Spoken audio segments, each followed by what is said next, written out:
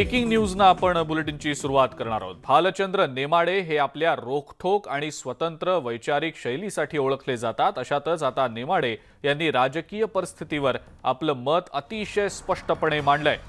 जळगावमधल्या Jain hills इथल्या जैन समूहाच्या वतीनं साहित्यिकांसाठी साहित्य कला पुरस्कार सोहळ्याचं आयोजन करण्यात आलेलं होतं. यावेळेला भालचंद्र नेमाडे यांनी राजकीय स्थितीवर टीका केली आहे. चांगल्या लोकांनी राजकारणात पडूच नये असं हे सुरू आहे. कुठला चांगला माणूस धजेल यात असा सवाल त्यांनी उपस्थित केलाय. खोक्यांची भाषा चालते का? आपल्यासारख्याला शक्य नाही असं वक्तव्य देखील भालचंद्र नेमाडे यांनी केलेलं आहे. आपल्याला कळत नाही का कोण चांगलं आहे ते असा प्रश्न देखील त्यांनी विचारलाय. लोकशाहीचा काय उपयोग आहे असं वक्तव्य नेमाडे यांनी केलेलं आहे.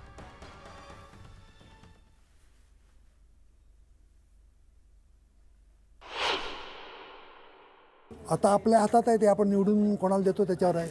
आपण लोकांना सॉरी मी पुन्हा वाईट बोलायला ते ते पुन्हा माया मागे काहीतरी लागले किरकिर तर नको. म्हणजे आपण लोकांना निवडून देतो त्याचे हे फळ आहेत.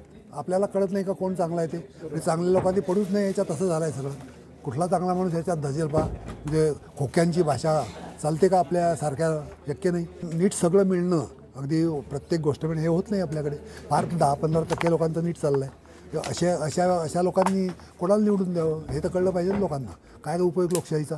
कोणाला मत देतो हे कळल्याशिवाय कसं काय सुधारणा होणारी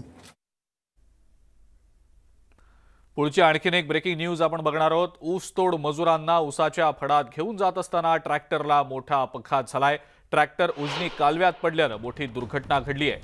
या दुर्घटनेत तीन ऊसतोड मजूर महिलांसह दोन लहान मुलांचा मृत्यू झालाय. ही घटना रात्री अकराच्या सुमारास पंढरपूर जवळच्या करकंब परिसरात घडली आहे घटनेनंतर पोलिसांनी जखमी मजुरांना करकंब इथल्या रुग्णालयात उपचारासाठी दाखल केलंय.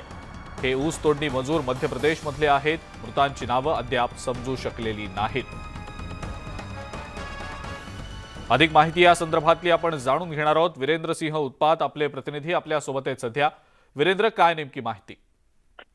अजिंक्य ऊसतोड कामगारांचा हा ट्रॅक्टर करकम येथे त्यांची दुर्घटना झालेली आहे आणि उजनी कालव्यात हा ट्रॅक्टर पडून तीन महिलांसह दोन मुलांचा मृत्यू झालेला आहे.